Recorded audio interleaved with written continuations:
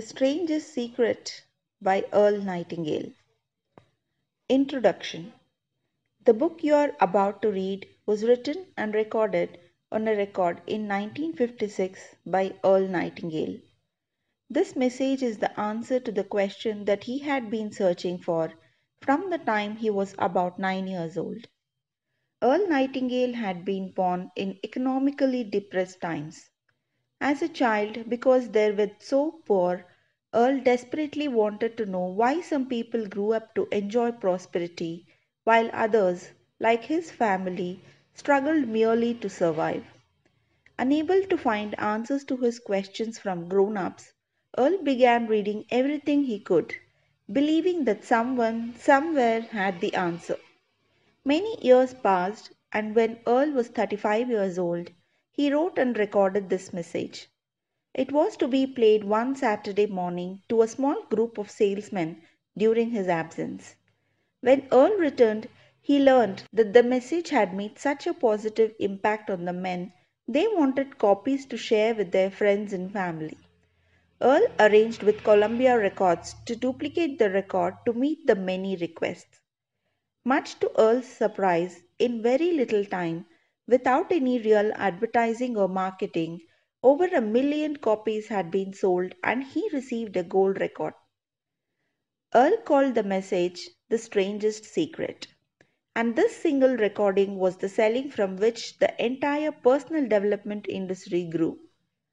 And because Earl had discovered the true meaning of the strangest secret, which determines the outcome of one's life, he went from poverty to become one of the most highly recognized voices and names throughout the US and from the West Indies to South Africa. His daily radio program, Our Changing World, was the world's most widely sponsored radio program and was heard daily across the United States, Canada, Mexico, Australia, and Bahamas, Guam, New Zealand, Puerto Rico, the Armed Forces Radio, and 30 countries overseas. Since my husband's death in 1989, I have continually looked for new, effective ways to continue to share Earl's many messages of inspiration with the world. This book is one of those ways. The personal development industry is so vast today, and yet people around the world attribute the strangest secret as being the one message that has most positively affected their lives. As you read, you will notice how the statistics reflect those of the mid 1950s. But more than 50 years later, the message is as true and valuable as it was then. I hope you enjoy the book, but more than that, I hope you put the strangest secret to work in your life. Diana Nightingale. Chapter 1 the Strangest Secret. I would like to tell you about the strangest secret in the world.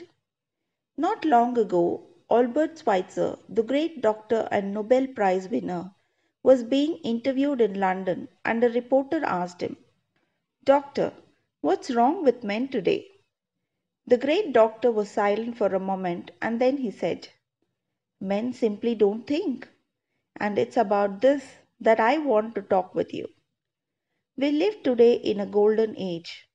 This is an era that man has looked forward to, dreamed of, and worked hard for thousands of years. But since it's here, we pretty well take it for granted. We in America are particularly fortunate to live in the richest land that ever existed on the face of the earth. A land of abundant opportunity for everyone. But do you know what happens? Let's take a hundred men who start even at the age of 25. Do you have any idea of what will happen to those men by the time they are 65? These 100 men, who all start even at the age of 25, believe they are going to be successful. If you ask any one of these men if he wanted to be a success, he would tell you that he did, and you would notice that he was eager towards life that there was a certain sparkle to his eye and erectness to his courage, and life seemed like a pretty interesting adventure to him. But by the time they are 65, one will be rich, four will be financially independent, 5 will still be working, 54 will be broke. Now think a moment. Out of the 100, only 5 make the grade. Why do so many fail? What has happened to the sparkle that was there when they were 25? What's become of the dreams, the hopes, the plans? And why is there such a large disparity between what these men intended to do and what they actually accomplished? When we say about 5% achieve success, we have to define success. And here's the definition Success is the progressive realization of a worthy ideal. If a man is working towards a predetermined goal and knows where he's going, that man is a success. If he is not doing that, he is a failure. Success is the progressive realization of a worthy ideal. Rollo May, the distinguished psychiatrist, wrote a wonderful book called Man's Search for Himself. And in this book, he says the opposite of courage in our society is not cowardice, it's conformity. And there you have the trouble today. It's conformity. People acting like everyone else without knowing why, without knowing where they're going. Now, think of it. In America right now, there are over 40 million people 65 years of age, and over and about 13 million of these 40 million are broke. They're dependent on someone else for life's necessities. Now, we learn to read by the time we are 7. We learn to make a living by the time we are 25.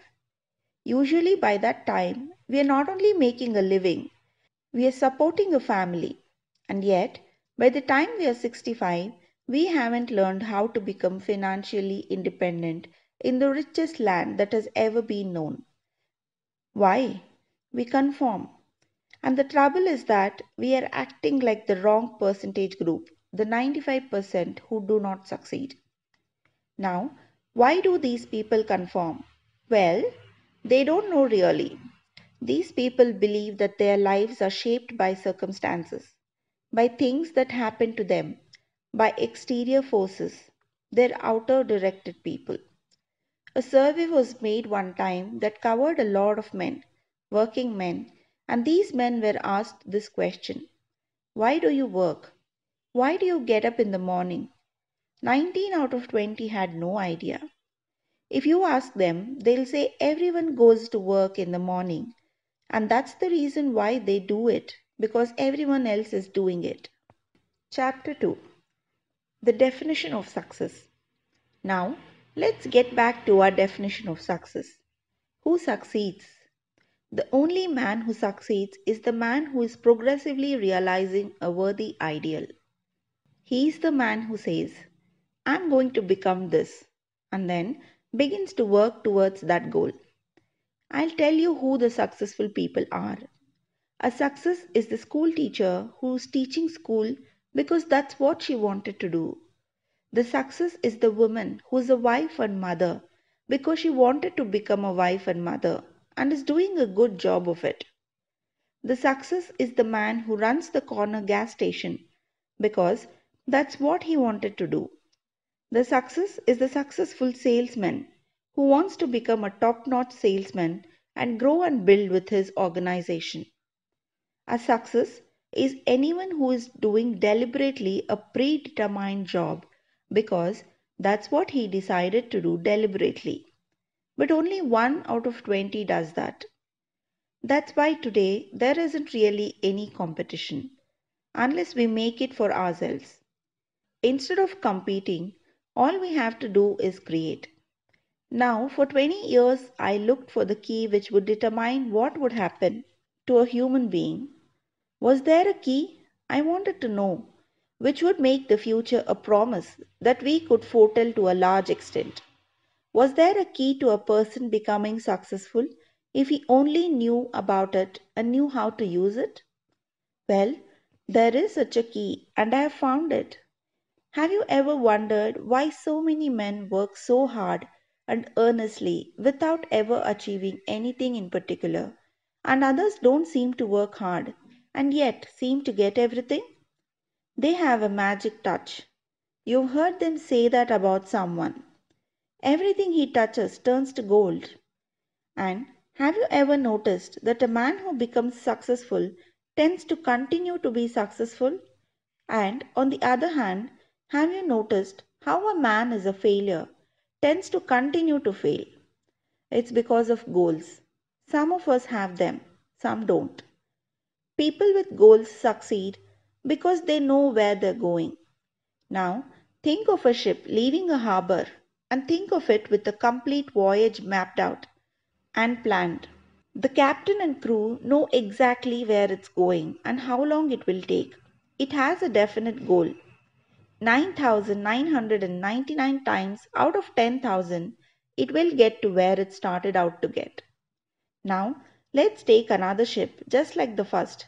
Only let's not put a crew on it or a captain of the helm. Let's give it no aiming point, no goal, no destiny. We just start the engine and let it go. I think you'll agree with me that if it gets out of the harbor at all, it will either sink or wind up on some deserted beach at derelict. It can't go any place because it has no destination, no guidance. It's the same with a human being. Take the salesman for example. There's no other person in the world today with the future of a good salesman. Selling is the world's highest paid profession if we are good at it and if we know where we are going. Every company needs top notch salesmen and they reward those men. The sky is the limit for them. But how many can you find?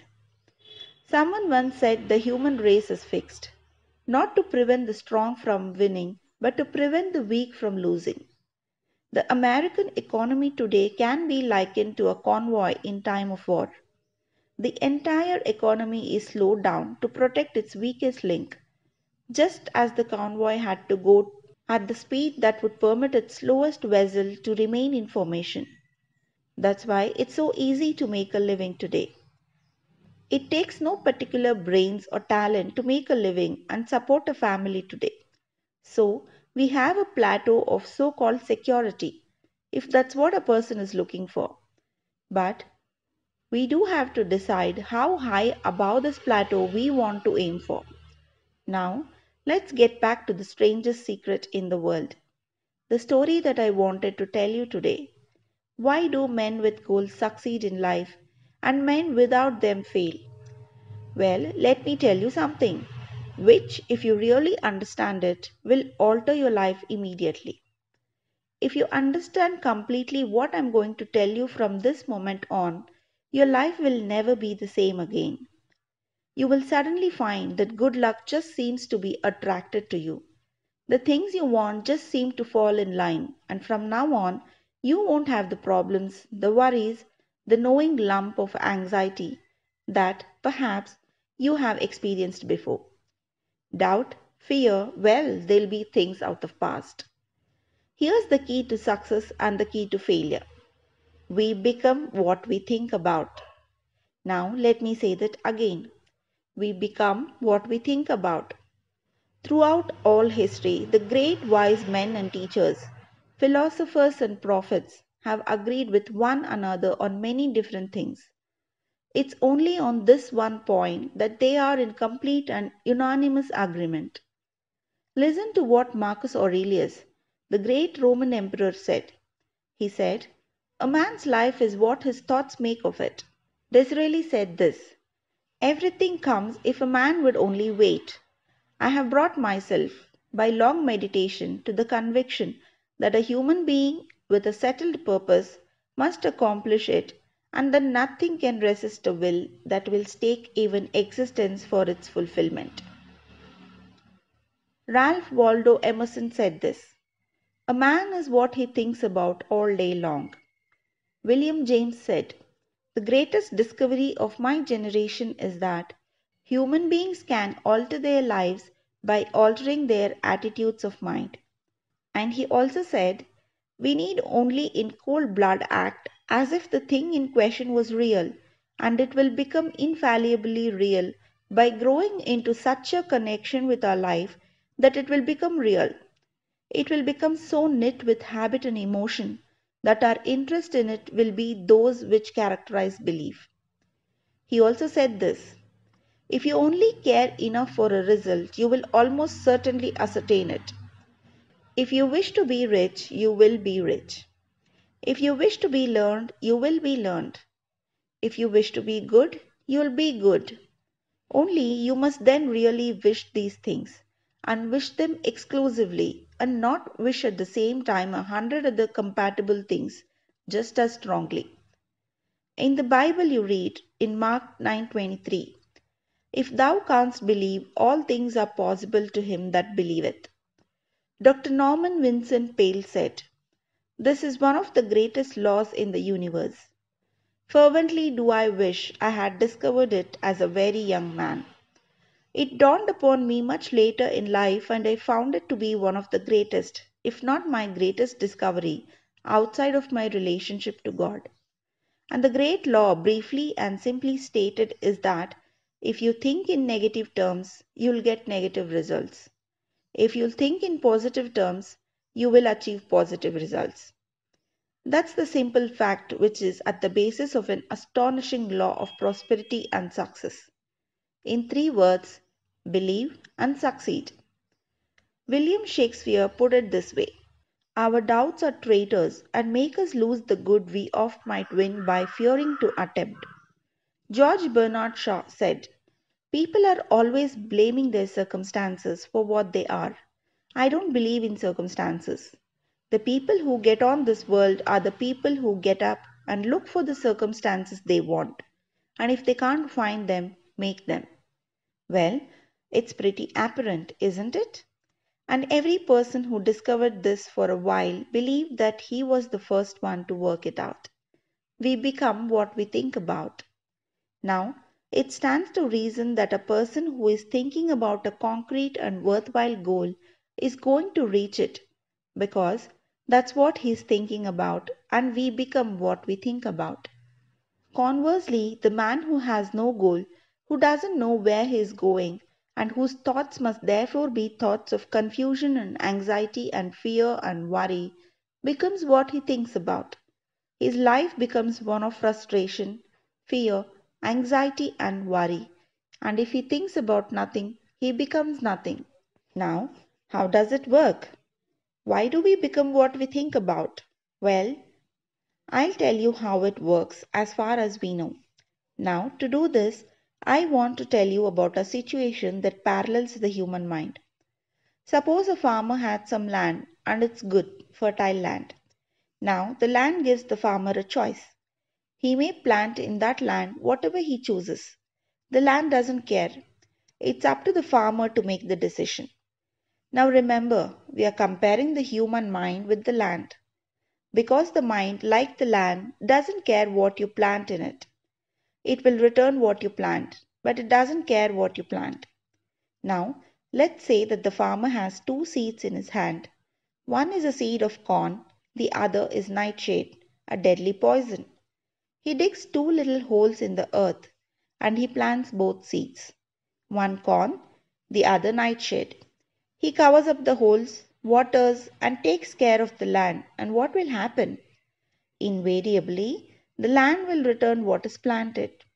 As it is written in the Bible, as you sow, so shall you reap. Remember, the land doesn't care. It will return poison in just as wonderful abundance as it will corn. So, up comes the two plants, one corn, one poison. Now, the human mind is far more fertile, far more incredible and mysterious than the land, but it works the same way doesn't care what we plant. Success, failure, a concrete worthwhile goal or confusion, misunderstanding, fear, anxiety, and so on. But what we planted will return to us. You see, the human mind is the last great unexplored continent on the earth. It contains riches beyond our wildest dreams. It will return anything we want to plant. Now, you might say but if that's true, why don't people use their minds more? Well, I think they have figured out an answer to that too. Our mind comes as standard equipment at birth. It's free, and things that are given to us for nothing, we place little value on. Things that we pay money for, we value. The paradox is that exactly the reverse is true. Everything that's really worthwhile in life came to us free. Our mind, our soul, body, hopes, our dreams, our ambitions, intelligence, our love of family and children and friends. All these priceless possessions are free. But the things that cost us money are actually very cheap and can be replaced at any time. A good man can be completely wiped out and make another fortune. He can do that several times. Even if our home burns down, we can rebuild it. But the things that we got for nothing, we can never replace. The human mind isn't used merely because we take it for granted. Familiarity breeds contempt. It can do any kind of job we assign to it, but generally speaking, we use it for little jobs instead of big, important ones. Universities have proved that most of us are operating on about 10% of our abilities. Decide now what is it you want? Plant your goal in your mind. It's the most important decision you'll ever make in your entire life. Do you want to be an outstanding salesman? A better worker at your particular job? Do you want to go places in your company, in your community? All you've got to do is plant that seed in your mind. Care for it. Work steadily towards your goal and it will become a reality. It not only will, there is no way that it cannot. You see, that's a law, like the laws of Sir Isaac Newton, the laws of gravity. If you get on top of a building and jump off, you'll always go down. You'll never go up. And it's the same with all the other laws of nature. They always work, they are inflexible. Think about your goal in a relaxed, positive way. Picture yourself in your mind's eye as having already achieved this goal. See yourself doing the things that you will be doing when you have reached your goal. Ours has been called the phenobarbital age, the age of ulcers and nervous breakdowns. At a time when medical research has raised us to a new plateau of good health and longevity, far too many of us worry ourselves into an early grave, trying to cope with things in our own little personal ways without learning a few great laws that will take care of everything for us. These things we bring on ourselves by our habitual way of thinking. Every one of us is the sum total of his own thoughts. He is where he is because that's exactly where he really wants to be, whether he'll admit that or not. Each of us must live off the fruits of his thoughts in the future because what you think today and tomorrow, next month or next year, will mold your life and determine your future. You're guided by your mind. I remember one time I was driving through Arizona and I saw one of those giant earth moving machines roaring along the road at about 35 miles per hour with what looked like 20 tons of dirt in it a tremendous, incredible machine, and there was a little man perched way up on top with the wheel in his hands, guiding it. And as I drove along, I was struck by the similarity of that machine to the human mind. Just suppose you're sitting at the controls of such a vast source of energy. Are you going to sit back and fold your arms and let it run itself into a ditch? Or are you going to keep both hands firmly on the wheel and control and direct this power to a specific worthwhile purpose. It's up to you. You are in the driver's seat. You see, the very law that gives us success is a two edged sword. We must control our thinking. The same rule that can lead a man to a life of success, wealth, happiness, and all the things that he has ever dreamed of for himself and for his family, that very same law can lead him into the gutter. It's all in the how he uses it, for good or bad. This is the strangest secret in the world. Now, why do I say it's strange and why do I call it a secret? Actually, it isn't secret at all. It was first promulgated by some of the earliest wise men and it appears again and again throughout the Bible. But very few people who have learned it understand it. That's why it's strange and why, for some equally strange reason, it virtually remains a secret. I believe that you could go out and walk down the main street of your town and ask one man after another what the secret of success is, and you probably wouldn't run into one man in a month who could tell you. Now, this information is enormously valuable to us if we really understand it and apply it.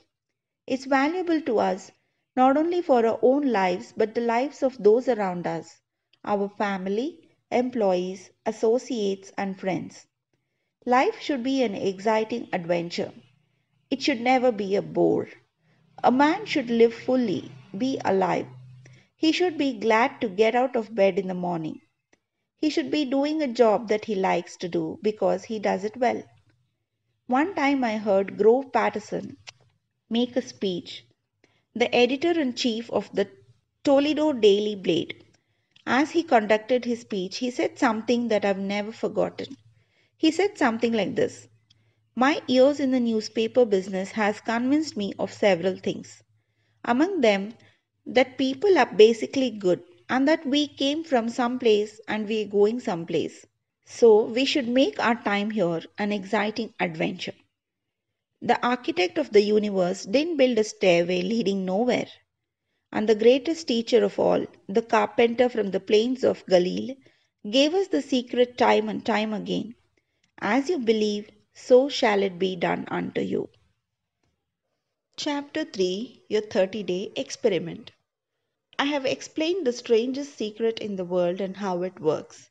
Now, I want to explain how you can improve yourself the enormous returns possible in your own life by putting this secret to a practical test. I want you to make a test that will last 30 days. Now, it isn't going to be easy. If you'll give it a good try, it will completely change your life for the better.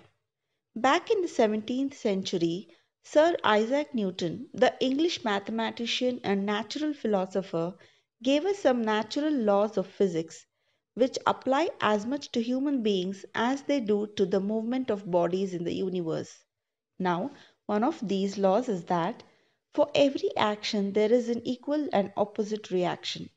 Simply stated as it applies to you and me, it means we can achieve nothing without paying the price. The results of your 30 day experiment will be in direct proportion to the effort you put forth. To be a doctor, you must pay the price of long hours of difficult study. To be successful in selling, and remember that each one of us succeeds to the extent of his ability to sell. Selling our families on our ideas, selling education in schools, selling our children on the advantages of living the good and honest life, selling our associates and employees on the importance of being exceptional people to, of course, to the professional and selling itself. But to be successful in selling our way to the good life, we must be willing to pay the price. Now, what is that price? Well, it's many things. First, it's the understanding emotionally as well as intelligently that we literally become what we think about. That we must control our thoughts if we are to control our lives. It's understanding fully that as you sow, so shall you reap. Secondly, it's cutting away all the fetters from the mind and permitting it to soar as it was divinely designed to do so. It's the realization that your limitations are self imposed and that the opportunities for you today are enormous beyond belief. It's rising above narrow minded pettiness and prejudice. Thirdly, to use all your courage to force yourself to think positively on your own problem, to set a definite and clearly defined goal for yourself, to let your marvelous mind think about your goals from all possible angles, to let your imagination speculate freely upon many different possible solutions, to refuse to believe there are any circumstances sufficiently strong to defeat you in the accomplishment of your purpose to act promptly and decisively when your course is clear and to keep constantly aware of the fact that you are, at this moment, standing in the middle of your own acre of diamonds, as Russell Conwell used to point out. Fourth, Save at least 10% of what you earn. It's also remembering that no matter what your present job, it has enormous possibilities if you're willing to pay the price. Now, let's go over the important points in the price each of us must pay to achieve the wonderful that can be ours. It is, of course, worth any price. 1. You will become what you think about. 2. Remember the word imagination. Let your mind soar. 3. Courage. Concentrate on your goal every day. 4. Save 10% of what you earn. And action. Ideas are worthless unless we act on them. Now, I'll try to outline the 30 day test I want you to make. Keep in mind that you have nothing to lose by making this test and everything that you could possibly want to gain. There are two things that may be said of everyone. Each of us wants something and each of us is afraid of something. I want you to write on a card what is it you want more than anything else. It may be more money. Perhaps you would like to double your income or make a specific amount of money. It may be a beautiful home. It may be success at your job. It may be a particular position in life. It could be a more harmonious family. Each of us wants something. Write down on your card specifically what it is that you want. Make sure it's a single goal and clearly defined. You need not show it to anyone, but carry it with you so that you can look at it several times a day. Think about it in a cheerful, relaxed, positive way each morning when you get up, and immediately you have something to work for, something to get out of bed for, something to live for. Look at it every chance you get during the day and just before going to bed at night. As you look at it, remember you must become what you think about, and since you're thinking about your goal, you realize that soon it will be yours. In fact, it's yours, really, the moment you write it down and begin to think about it. Look at the abundance all around you as you go about your daily business. You have as much right to this abundance as any other living creature. It's yours for the asking. Now we come to the difficult part. Difficult because it means the formation of what is probably a brand new habit, and new habits are not easily formed. Once formed, however, it will follow you for the rest of your life. Stop thinking about what it is you fear. Each time a fearful or negative thought comes to your consciousness, replace it with a mental picture of your positive and worthwhile goal. There will come time when you will feel like giving up. It's easier for a human being to think negatively than positively. That's why only 5% are successful. You must begin now to place yourself in that group. For 30 days, you must take control of your mind. It will think only about what you permit it to think. Each day, for this 30 day test, do more than you have to do. In addition to maintaining a cheerful, positive outlook, give yourself more than you've ever done before. Do this knowing that your dreams in life must be in direct proportion to what you give. The moment you decide on a goal to work towards, you are immediately a successful person. You are then in that rare unsuccessful category of people who know where they are going. Out of every hundred people, you belong to the top five. Don't concern yourself too much with how you're going to achieve your goal. Leave that completely to a power greater than yourself. All you have to do is know where you're going the answers will come to you of their own accord. Remember these words from the Sermon on the Mount and remember them well. Keep them constantly before you this month of your test. Ask, and it shall be given. Seek, and ye shall find. Knock, and it shall be opened unto you. For every one that asketh receiveth, and he that seeketh findeth, and to him that knocketh it shall be opened. It's as marvelous and simple as that. In fact, it's so simple that in a similarly complicated world, it's difficult for an adult to understand that all he needs is a purpose and faith. For 30 days, do your best. If you are a salesman, go at it as you've never done before. Not in hectic fashion, but with a calm, cheerful assurance that time well spent will give you the abundance in return that you deserve and want. If you are a homemaker, devote your 30 day test to complete giving of yourself without thinking about receiving anything in return, and you'll be amazed at the difference it makes in your life.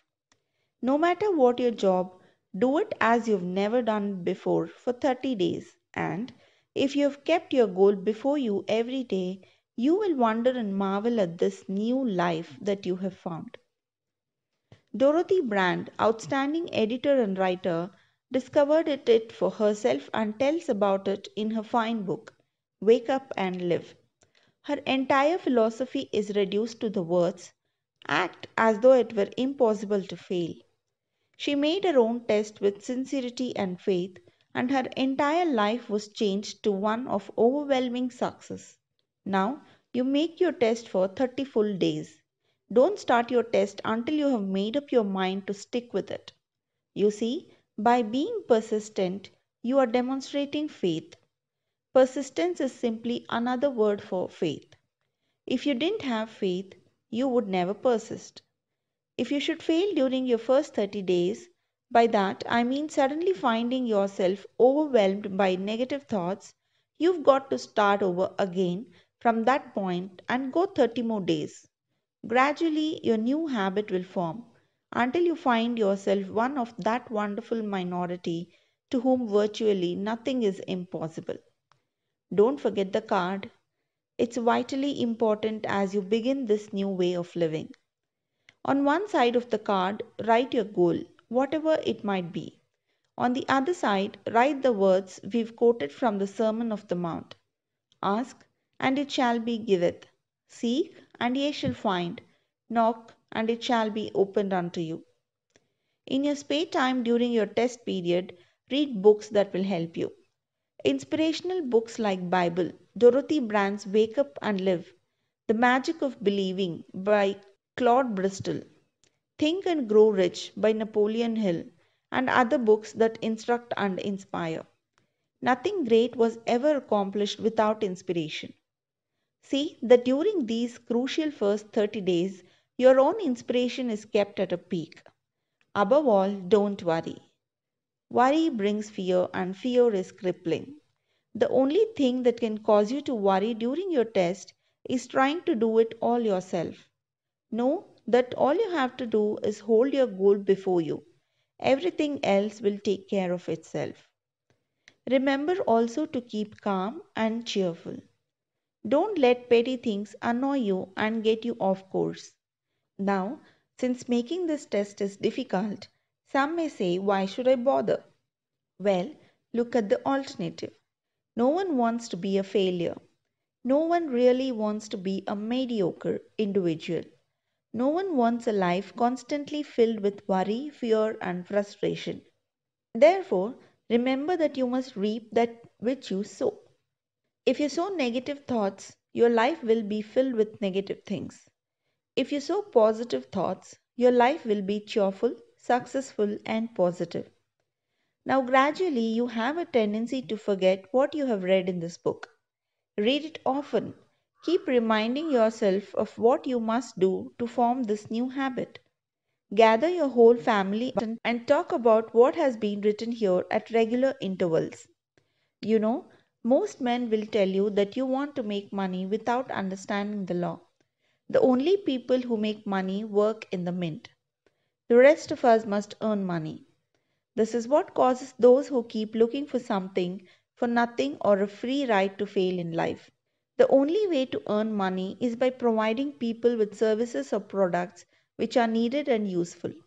We exchange our product or services for the other man's money. Therefore, the law is that our financial return will be in direct proportion to our service. Success is not the result of making money.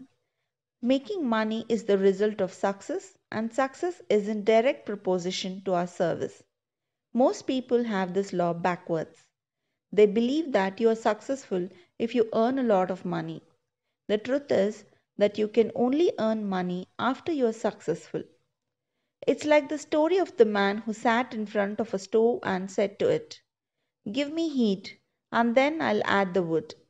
How many men and women do you know, or do you suppose are out there today, who take the same attitude towards life? There are millions. We've got to put the fuel in before we can expect heat. Likewise, we've got to be of service first before we can expect money. Don't concern yourself with the money. Be of service. Build, work, dream, create. Do this, and you'll find that there's no limit to the prosperity and abundance that will come to you. Prosperity is founded upon a law of mutual exchange. Any person who contributes to prosperity must prosper, in return, himself. Sometimes the return will not come from those you serve, but it must come to you from some place, for that's the law. For every action, there is an equal and opposite reaction. As you go daily through a 30 day test period, remember that your success will always be measured by the quality and quantity of service you render and money is a yardstick for measuring this service. No man can get rich himself unless he enriches others. There are no exceptions to a law. You can drive down any street in America and from your car estimate the service that's being rendered by the people living on that street. Have you ever thought of this yardstick before?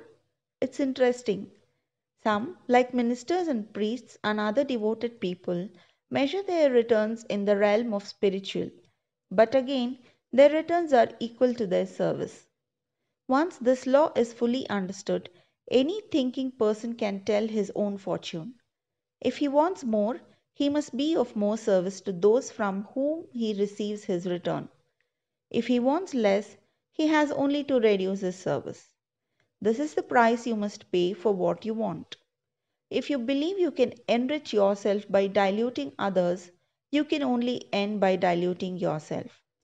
Just as surely as you breathe, you'll get back what you put out. Don't ever make the mistake of thinking you can avert this. It's impossible. The prisons and streets where the lonely walk are full of people who try to make new laws just for themselves. We may avoid the laws of man, but there are greater laws that cannot be broken. An outstanding medical doctor recently pointed out six steps that will help you realize success. First, set yourself a definite goal. Second, quit running yourself down. Third, stop thinking of all the reasons why you can't be successful and instead think of all the reasons why you can. Fourth, Trace your attitudes back to your childhood and try to rediscover where you first got the idea you couldn't be a success, if that's the way you've been thinking. Fifth, change the image you have of yourself by writing out a description of the person you would like to be. Sixth, act the part of the successful person you have decided to become. The doctor who wrote those words is a noted West Coast psychiatrist David Harold Fink, MD. Do what all the experts since the dawn of recorded history have told you. You must do. Pay the price by becoming the person you want to become. It's not nearly as difficult as living unsuccessfully. Make your 30 day test, then repeat it, then repeat it again. Each time it will become more a part of you until you wonder how you could ever have lived any other way. Live this new way and the floodgates of abundance will open and pour over you more riches than you may have dreamed existed. Money, yes, lots of it, but what's more important, you'll have peace. You'll be in that wonderful minority who lead calm, cheerful, successful lives. Start today. You have nothing to lose, but you have a life to win